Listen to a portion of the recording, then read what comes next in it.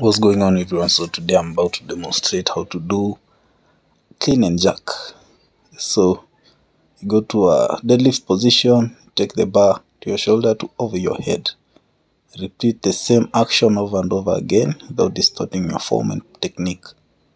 Yeah, so you have to be explosive in this movement for it to happen or to execute it well.